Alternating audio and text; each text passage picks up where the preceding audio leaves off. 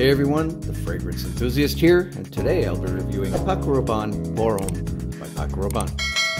It's classed as an aromatic fougere fragrance for men and was launched in 1973. This 1973 classic from Paco Rabanne reminds me so much of my dad as he used to wear this back in the 70s. I love barbershop scents, and this definitely has that barbershop vibe. This is a very green scent with that rosemary and clary sage. I do get some rosewood along with the lavender and geranium. As it dries down, the oak moss and musk become more noticeable. Performance is very decent as I get 8 hours plus on my skin with a couple of hours of projection. Well, that's all for now. This is the Fragrance Enthusiast. Thanks for watching.